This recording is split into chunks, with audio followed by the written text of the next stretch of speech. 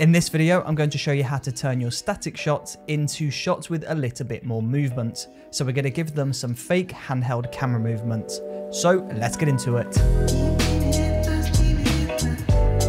So as you can see, we're inside of Adobe After Effects and I've just got this very boring static shot of me just walking in and walking out of the frame. But the problem is this shot isn't really doing anything for me. I feel like a little bit of natural handheld camera movement would look good.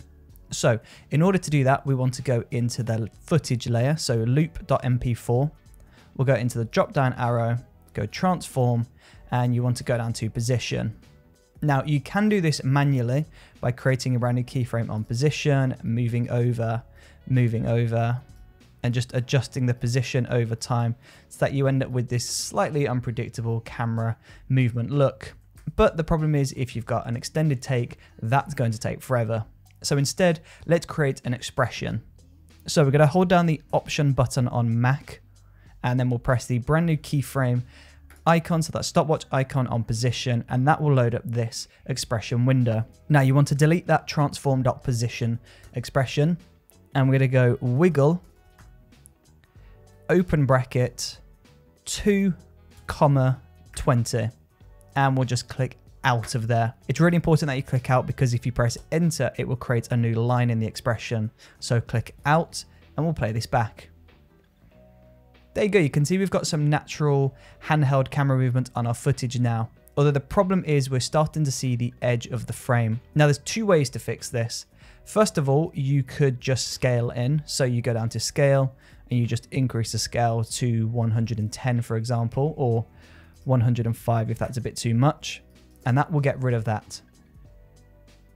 Or alternatively, you can keep the scale at 100 and we'll go into effects and presets.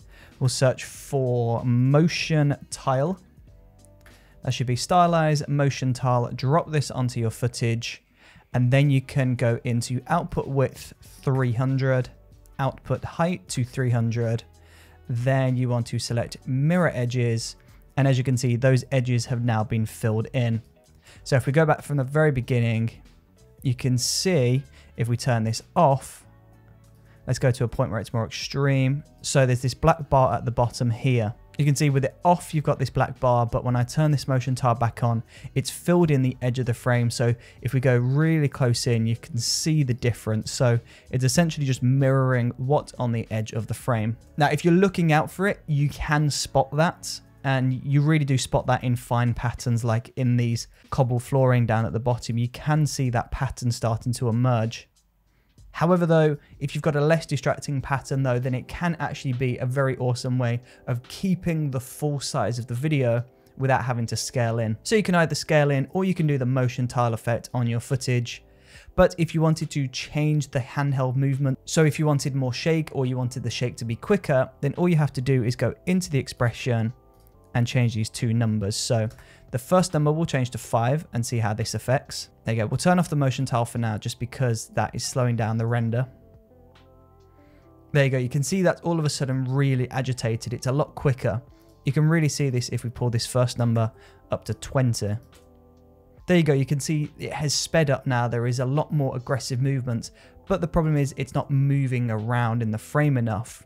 So your first number is going to correlate to the speed of the movement, how frequently the camera is moving. And then the second number, let's pull the first one down to five. The second number is the amount it will travel. So if we pull this down to one, you can see it's barely going to move. But if we pull this up to 50, for example, you can see this is going to be wiggling the camera all over the place. So let's just turn on that motion tile and see how that looks with the motion tile effect applied. You can see it's barely even noticeable that we've added in this motion tile effect, especially when you combine it with this aggressive camera movement. However though, I feel like that is probably going to be too aggressive most of the time. That would work if you were shooting an action film, but if you just want to add a little bit of natural handheld camera movement to your footage, I would recommend going for maybe two and 15. Let's go. There you go. You can see this instantly looks a lot more natural. It feels like somebody has actually filmed this.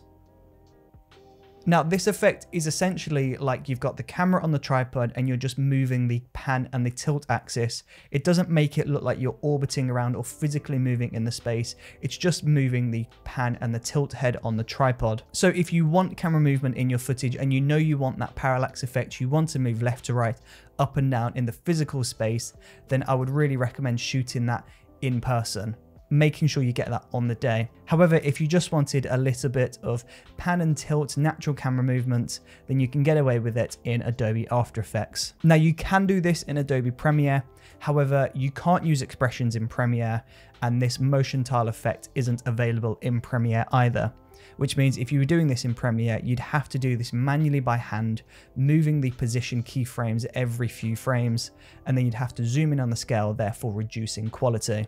So if you're doing the fake handheld camera movement, I would always recommend running it through After Effects rather than Premiere. Now, before we carry on with this video, I'm first just going to take a quick break to talk about the Brooker Films courses. And in particular, I want to mention the After Effects course. Over on Skillshare, I have a two hour plus Adobe After Effects course, which covers everything from importing your footage to creating new shapes, masking, green screening, rotoscoping. It covers everything you could ever need when you're first getting started into Adobe After Effects. So if you're new to After Effects or you're just trying to brush up on some new skills, then click the link in the description below to check out the course. Now, back to the video. And there you go.